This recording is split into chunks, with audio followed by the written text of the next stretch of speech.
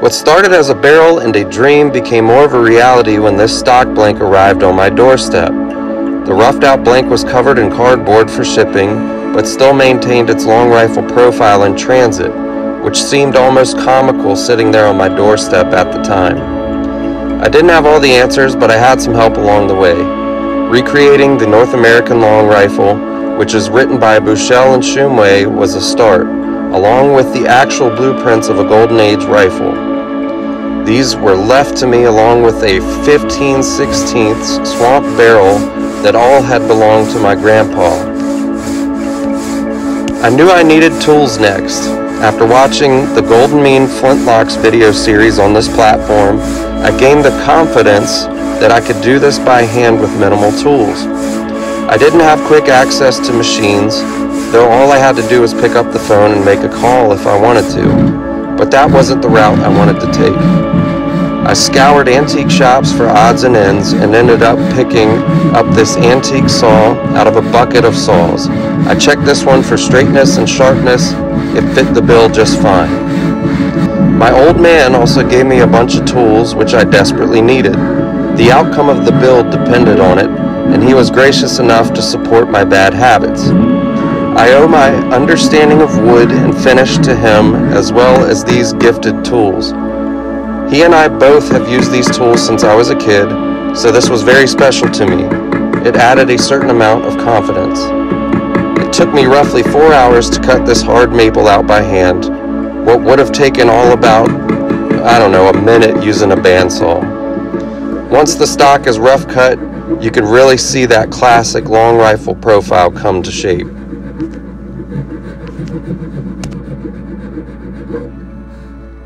One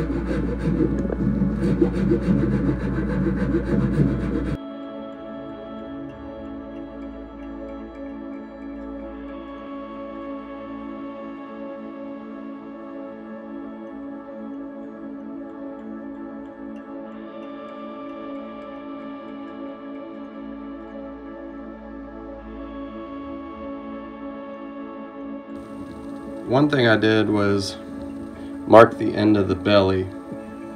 And the end of the belly is determined by your breech plug.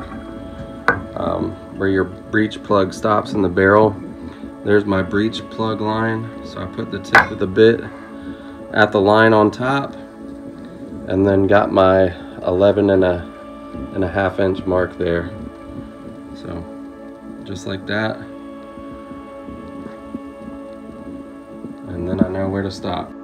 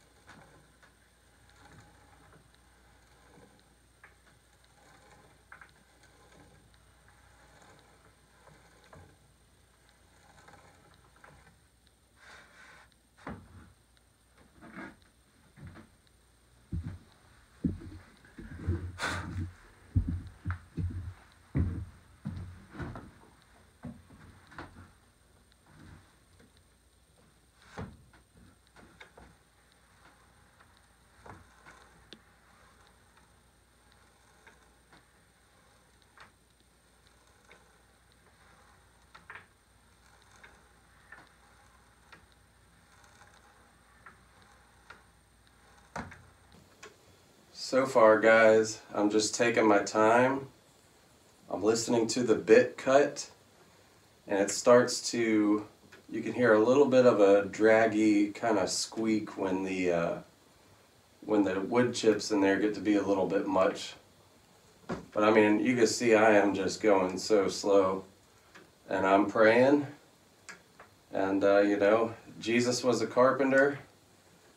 He totally understands my dilemma right now. But uh, this is one of those things where, you know, it's almost therapeutic. You're, you're just getting in a rhythm, and it can almost lull you into not paying attention. And as a matter of fact, I'm going to stop talking here in a second because I'm really using my ears to listen to the cut of that bit. And I'm, I'm just taking my time here.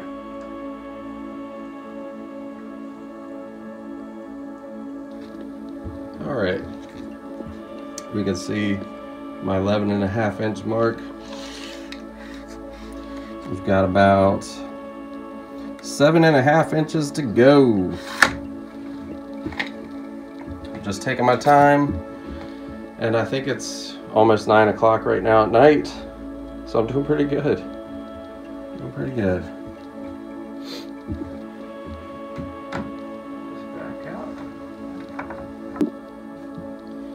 Guys, we are on the home stretch and we've got about half an inch to go and that's done. So it should be pretty much one more pass and uh, nothing's come out of the bottom, nothing's come out of the top. So I'm feeling pretty good about it. Fingers crossed for this last half an inch. And uh, just to kind of show you my setup, it's not great. Everything's level though. I've got it wedged at this end to support the uh, hand drill. And then I've got it clamped here with a piece of wood scrap on the bottom and top. And uh, starting that bit allowed the end to seat. So when I clamped this, uh, there was no uh, wobbliness. It was just ready to roll. So we're gonna go ahead and do this last half inch and uh, see see how things look after that.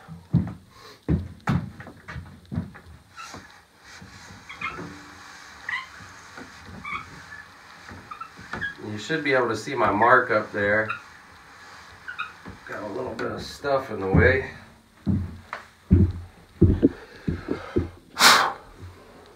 That linseed oil really makes the difference.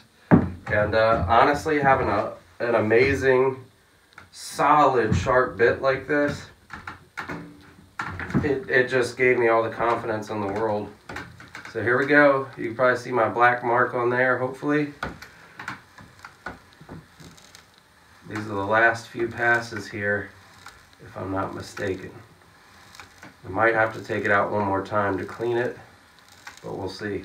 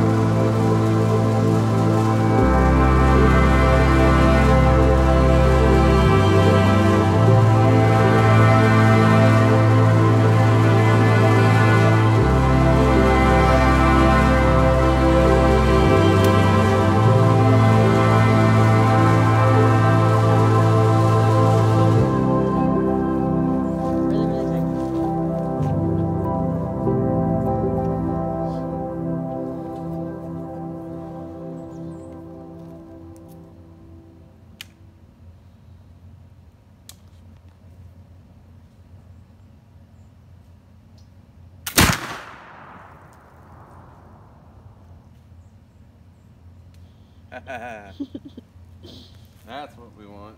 Mm-hmm. Ford, hold Get on. the hell out of here. That's crazy. Dead center. Oh my god. That is like dead center. I can see it.